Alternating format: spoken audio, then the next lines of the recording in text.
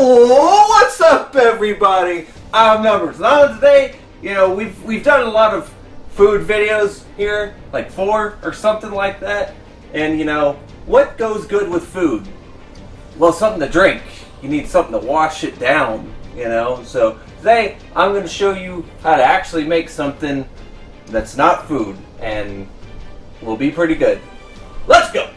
To make this coffee, you're going to need a few things blender, pitcher, another pitcher, funnel, coffee filter, coffee, creamer, water, and the thing for the blender. Unless you have a coffee grinder, that works too. And sugar. And money for a replacement counter. no, the counter is fine. That is not a required part of this recipe. Okay, first things first. Uh, the blender is actually kind of optional. But if you're like me, I got coffee on the counter. If you're like me, uh, you buy whole bean coffee because you're you have expensive taste. Open this package of coffee up. Wow, that actually worked a lot better than It worked a lot. It actually worked very well. A lot better than I thought it would. Ah, I probably shouldn't throw knives. Mmm, it smells very good. Put that on. Grind it up. Is that enough coffee? I don't know. We'll find out though. Pitcher. Are you getting scared about it? What? Yes. Am I? Is it my loudness? Or are you scared I'm gonna break the counter? No, it's your loudness. Sorry. I have to pay to get my tooth unchipped. What do you need?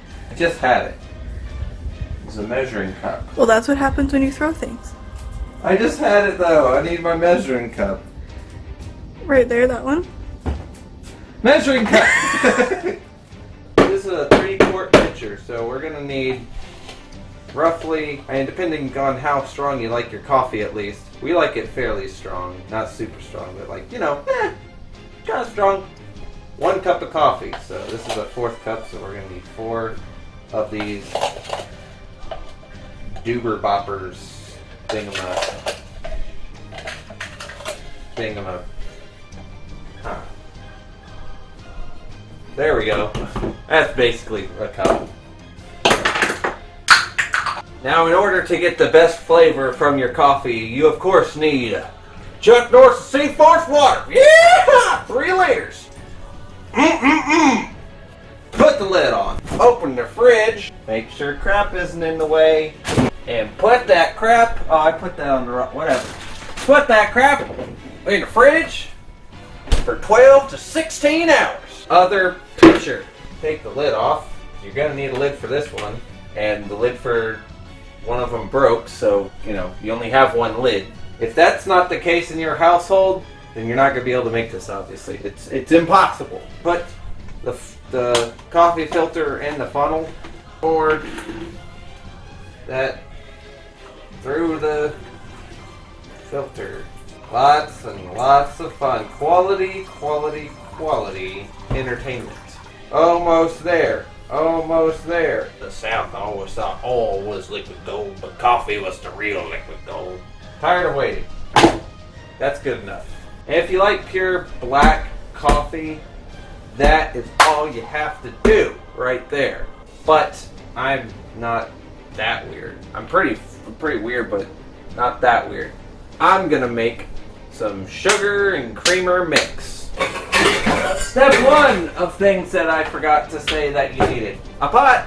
I guess this is optional, so. A pot. Uh, the, the creamer, the sugar, and more water. I don't have any more C-Force. Filtered water will do. Where's my measuring cup again? On the floor. It's fine, is it not? I mean, it just had dry ingredients on it. Clean off your measuring cup that you threw onto the floor because you thought you were done with it, and uh, then use that again. Next time, don't throw your measuring cup onto the floor. Also, I guess if you're using liquid creamer, you don't have to do this. We just don't use liquid creamer. Ever since we switched to this Borden's Cremora coffee creamer, we made the switch. Okay, almost a gallon. This is gonna be a gallon of coffee all in all. So we're gonna do a cup of creamer for the whole thing. That should be good. And then There's a measuring cup in here already. It's not what I want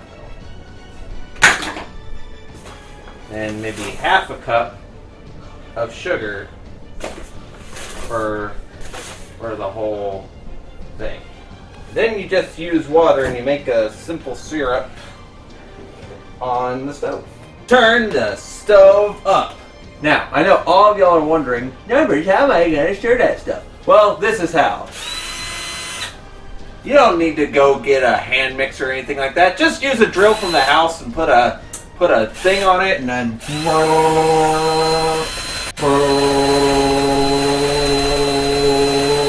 and after about like I don't know, like what, five minutes or something? Five minutes, it should look more like this, into a thick, thick, nice, delicious cream rather than uh, rather than just clumpy disgustingness. Take the thing off. Oh no. Turn off the stove.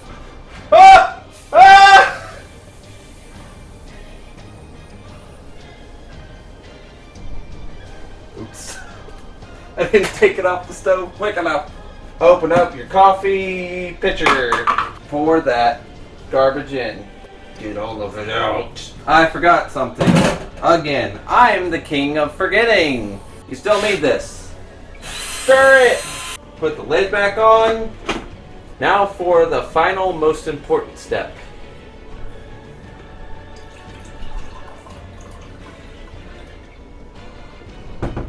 Trying the coffee yourself.